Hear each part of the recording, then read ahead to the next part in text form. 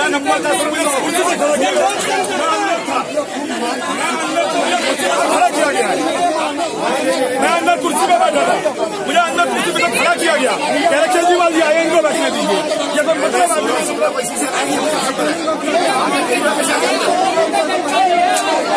सरासर